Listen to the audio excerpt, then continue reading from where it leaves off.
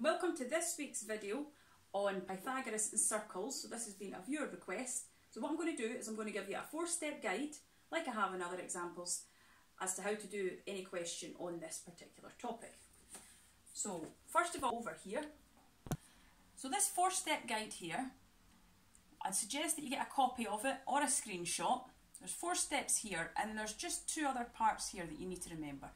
So first of all it says you have to ensure that there's a line going from the circle centre to one end of the line. The second step says that ensure that there's a line going from the circle centre to the midpoint of the line. This is in order to get your right angle triangle that you're going to do Pythagoras on. You fill in the radius and or any other sides accordingly and then you use Pythagoras to find the other missing side. But the things you've got to remember at the bottom here is that you may need to half or double the value on the straight line. So if you have the entire length of the straight line, you're going to need to half it. It's highly likely that you'll need to do an addition or subtraction involving the radius. So these two can take place at anywhere within those four steps. The best way for me to demonstrate them now is to use some examples. Okay, so start with our first example here. So we've got the circle drawn, we've got the word depth written, we're told that the radius is 5 centimetres, we're told that the line MN is 8 centimetres, and we're asked to find the depth. So we're just going to go through our four-step guide. So the first step says ensure that there's a line going from the circle centre to one end of the line. So there's the circle centre, so I'm just going to draw a line to, from here to that end of the line. Step two, ensure there's a line going from the circle centre to the midpoint of the line. So here's the circle centre and the midpoint of the line would be up here. So it's going to be like so. It says, next step, fill in the radius and or any other sides accordingly. Well, we're given the radius, so I know that that's 5 centimetres, and we know that line MN from here to here is 8, but what it says there is you may need to half or double the value on this line. But we're going to need to half it, so it's going to be 4. So that side's 5 and that side's 4 because the entire line was 8. And then the next step says to use Pythagoras to find in the other missing side. So we want to find this side. So we've got the large side, the long side, and we've got this side. It's going to be a subtraction. So we can say b squared equals a squared minus c squared. So we'll call this b. b squared equals 5 squared minus 4 squared. So b squared is 25 minus 16. b squared is equal to 9, so b equals 3. So this length here is 3 centimetres. And we should note this part here, it's highly likely that you'll need to do an addition or subtraction involving the radius. Well, we want to find the depth, so if we know this part to this part is 3, but the centre to the edge is also going to be a radius. So we are going to need to do an addition involving the radius. So it's going to be 5 add 3, so it's going to be 8 centimetres is our final answer. So that is the depth. I'm going to use the next example. I'm going to mix it up a bit. So this example, it's a little bit different. Instead of looking for the large part, we're looking for a smaller part. It gives me that the radius is 13 centimetres and that the line AB is 24 centimetres and we are trying to find the depth here. So again, I'm just going to go through our four-step guide. So the first step says ensure there's a line going from the circle centre to one end of the line. So I'm going to go from here to here. It also says ensure there's a line going from the circle centre to the midpoint of the line. So I'm going to draw that in as well. Then it says fill in the radius and or any other sides accordingly. So the radius is 13 centimetres and the line AB is 24. So we have the same situation that we had here. That's highly likely you'll need to you'll need to half or double the value in the straight line. So this value is 24. So half of 24 is 12. And then the next step is to use Pythagoras to find the other missing side. So again, we've got the hypotenuse or the diagonal, we've got 12. We just need to find the shorter side. So it's going to be a subtraction. So it's going to be b squared equals a squared minus c squared. So b squared equals 13 squared minus 12 squared. b squared will be 169 minus 144. B squared is 25. So b is 5 centimetres. So this length here, just this little length, is 5. And it also says here that it's highly likely you'll need to do an addition or subtraction involving the radius. So it's this part here we want to find, and we know that the radius is 13, so if we do 13 minus 5, we'll get the depth. So 13 minus 5 is 8 centimetres. That's our answer. I'm going to do another couple of examples with you. So we have another couple of different examples here and we're going to apply the same set of rules. So we look at this one here and of course we have to make sure that there's a line going from the circle centre to one end of the line. So circle centre to one end. You could have done it to that end but we're doing it to that one. Then we have to ensure that the line going from the circle centre to the midpoint of the line. So the circle centre to the midpoint. Step 3 fill in the radius and or any other missing sides. Well, we know that the radius is 15 centimetres. And to work out these other sides, we might need to look at the bottom part here. It says you may need to half or double the value in the straight line. It's highly likely that you, you will need to do an addition or subtraction involving the radius. Well, if we know the radius is 15, and we know that this part is 6, so if the length from here to here is 15 and the length from here to here is 6, we can just do 15 minus 6 and that'll get me the length of this side here. So we've got that one. And then we need to use Pythagoras to find the other missing side. So we want to get this side here.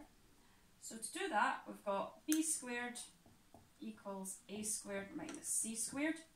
So we've got 15 squared b squared equals 15 squared minus 9 squared. I might just abbreviate this one for us. b squared is 225 minus 81. So b squared is 144. So b, the square root of 144 is 12. So b is equal to 12. So this length here is 12 centimetres. And what we're advised there, so we're trying to get KL, so we're trying to get the length going all the way from here to here. You may need to double or half the value in the straight line, or we're going to need to double it to get the entire length, because that bit's 12, so the entire length would be 12 at 12, which is 24 centimetres. So K to L is 24 centimetres. I'm going to use this example this time. So again, we just go through. The first rule is to ensure there's a line going from the circle centre to one end of the line. I might just go the other side this time. So circle centre to one end. Ensure there's a line going from the circle centre to the midpoint of the line. Fill in the radius and or any other sides accordingly. Well, the radius is 17 centimetres and we know that the entire height there is 25 what we're going to need to do here, so we've only got that one, we're going to have to go into one of these parts here. So we don't have anything on the bottom to use this one. It's highly likely that you'll need to do an addition or subtraction involving the radius. Well, we know that the height from here to here is 25, but this part here, from the centre to the top, is going to be 17. So if I know the entire height from here to here is 25, but that part's 17, I can just do 25 minus 17. So this is the subtraction involving the, the radius. So this side's going to be 8 centimetres here. And now we can use step 4. We use Pythagoras. So we'll go b squared equals 17 squared, because that's the diagonal, diagonal, minus 8 squared. So b squared is equal to 289, 289 minus 64. So b squared is 225. So b in its own is the square root of 225, which is 15. So this part here is 15 centimetres. And it says you may need to half or double the value on the straight line. Well, we're going to need to double it this time because we've got, we need to get the entire length. So it's just going to be double 15, so it's going to be 30 centimetres. Is our answer. 30 centimetres. I'm going to do one more example. Okay, so this is our final example. This is our headliner, uh, headline question. So this is a little bit more tricky. There has been some like this in the past paper. What I've actually drawn is a kind of imaginary dotted line at the top here and at the bottom here, just to, to help make it a bit more make sense for you. We're told that the radius is 16 centimetres and we're asked to find the height. So we're asked to find a length from here to here. And so quite often the question, it won't even have that dotted line. That part won't even exist. It'll probably just look like that and like that. But we still go through the same steps as usual. So the first steps is to ensure that there's a line going from the circle centre to one end of the line. So we're trying to work out the height. Basically we're going to have to go through this twice because we'll deal with this line first and then we'll deal with the bottom line second. So first of all, we make sure there's a line going from the circle centre to one end of the line. Then we make sure there's a line going from the circle centre to the midpoint of the line. Fill in the radius and or any other sides accordingly. So, as discussed before, we need to half this value. So if it's 22 going all the way across, this part's just going to be 11 because we've halved it. The radius is 16. And then we can use Pythagoras to work out this part. So we go b squared equals 16 squared minus 11 squared equals 256 minus 121 135 and to get b on its own we get the square root of 135, which is 11.6.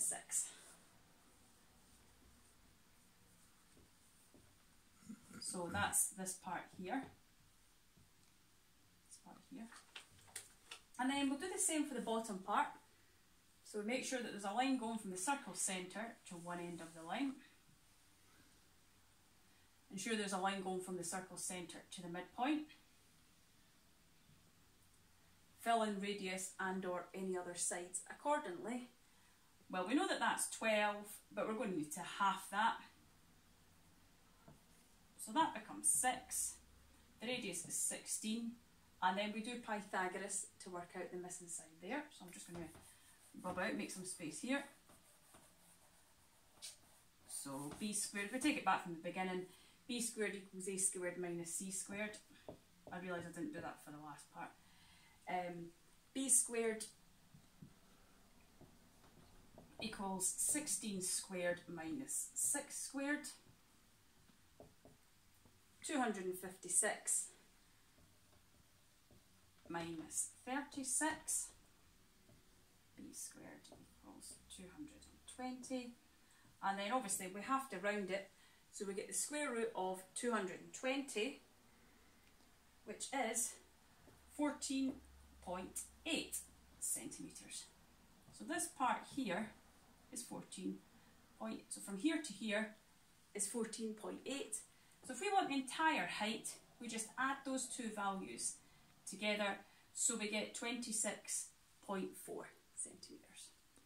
So 26.4 centimetres is the height. So I hope that's been helpful. Please like, please subscribe. Please feel free to ask about my National 5 group sessions and we'll hopefully see you in the next video. Bye!